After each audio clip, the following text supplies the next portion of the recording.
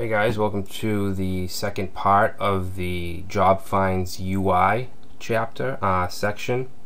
Uh, we're just going to add some styles to make this look a little better. Alright, so the main style I want to add now is the container, which is going to make it uh, thinner and also give it a white background and some other styles. So let's do that. Uh, in the layout section, I'm going to go I'm going to go right under body Okay, and we want to say container. Alright, so container.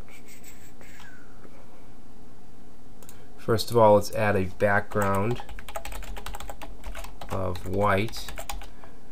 And um, I want to say overflow hidden. And I'm going to give it a minimum height of 300 pixels. And then I'm going to give it a max width of 960 pixels. And by the way this this um, template in this application is going to be uh, responsive and mobile friendly as well. So let's save that. And that gives us our basic uh, background Alright, so I want to I want this add job to float to the right. So let's go to the HTML. And Kickstart has a, a predefined class to float and it's just right or left. So we're we're at the sixth column that's that's containing the add job button. I'm just gonna add the class right. And that should move it over for us. Okay, um, I want to give it a little margin on top push it down a little bit. So let's see button class. I'm gonna give the form an, an ID of we'll say add job link. And then we can push that down. Let's go down to the bottom here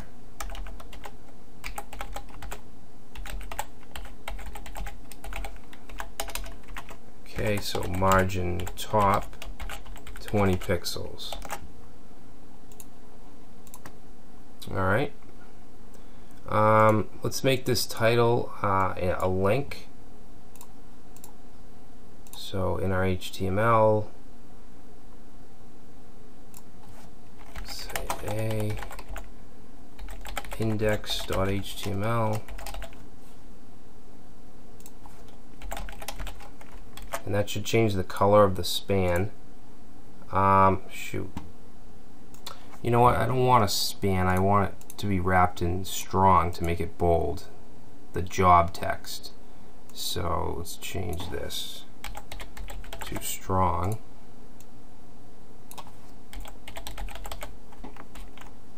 Okay. Okay so now alright so so now it makes the job text bla uh, black I don't want this underlined, so I'm going to do an override in our style sheet. So in the override section, let's just put in a link, a tag, and say text decoration none. Okay, so that looks a lot better. Alright, so heading's good, nav bar's good. Now let's do the search area. So in our CSS, Let's go down. And it has a, an ID of search area. Alright, and the search area is going to have a background of light gray. And I'm going to set the overflow to auto. Um, it's going to have a minimum height of 100 pixels. And we need some padding. We'll do 30 on the top. Whoop. 30 right. Bottom and then 20 on the left. Alright. Okay so that gives us our background. Um, next let's deal with these inputs. Uh, I want these bigger and wider and just more prominent. Okay, so we'll do keywords, which is the, the keyword input box. Uh, we'll do a width of 320 and a height of 40 padding do 4 and then give it a margin right of 10 pixels. Alright so next I want to do the selects. Uh, so they should have IDs we have category select and also state select. Alright, and we're going to give them the same height as the input. Um, width, we'll say 200, and same padding. And I want to give them borders, um, one pixel solid and gray. And then change the border radius to uh, 5 pixels and I'm gonna give it a box shadow like the text areas okay box shadow inset 0 1 6 and then gray and then we'll do margin right 10 pixels and margin left 10 pixels. Alright, so let's see what that looks like. Did I make a mistake here? Box shadow, colon. Alright, so that looks pretty good. Uh, I think I have a little too much margin here. It's pushing this too far over. So, let's see, the select areas, we'll say margin right 7 and margin left 7. Alright, that looks much better. Alright, so that's the search area. Next we have our main listing area. So let's go. The the list has an ID of listings.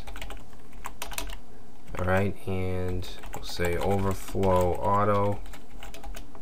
Um, I want to put a border on the bottom of each list item. That'll be one pixel, gray, um, and we'll do dotted and then just some padding okay padding we got 10 pixels 0 10 0 alright save that okay I don't see the border well. Oh. We need listings LI.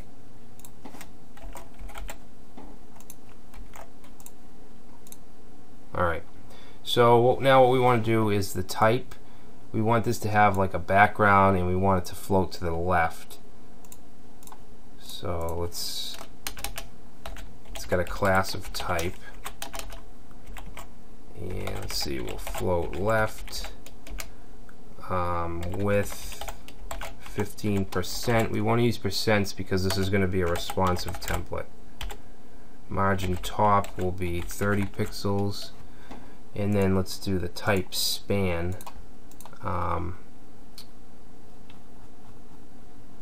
you can see that we have div class type and then a span um, with the class of green. So basically green for full-time and then we have blue for part-time. Alright, so we'll say type span. Uh, padding, I'm going to do 10 on the top and bottom and 20 on each side.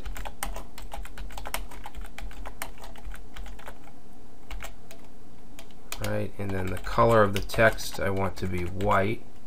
And then uh, for now, I'm going to make green the, the default background. Um, 8 1B 800 and then we can have the colors as well. So type span uh, dot green. And that'll have the same color but I also want to add a blue.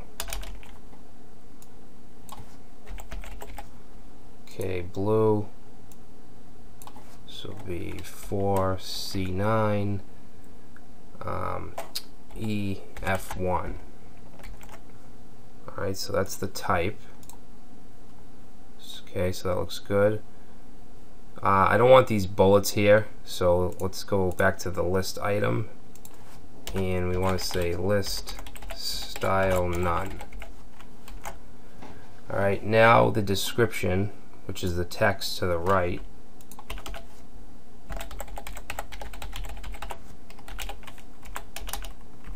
okay description we want to float right and give it a width of 85%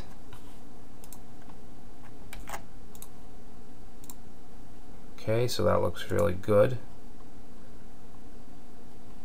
Uh, Part-time should have a blue box. We get blue here.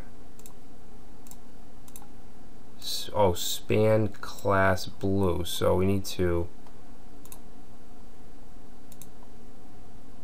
need to just push this over.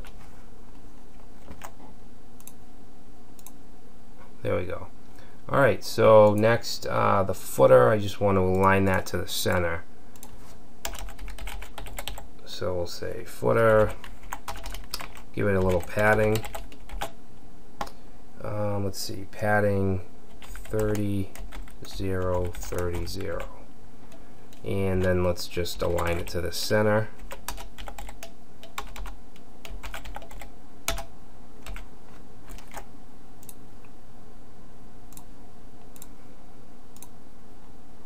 Okay. Alright, so that's really it for the CSS. Um, we have our index page complete. The HTML is complete. We have our CSS complete. Now we just want to create um, the rest of our inner pages. And you don't have to do this. Um, you could just get the, the code from the program files if you don't want to deal with HTML and CSS because obviously this is a PHP um, course but you know I like to make things look good uh, as well not just not just have the functionality but have the look as well so in the next um, part of this section we will be adding the uh, the inner pages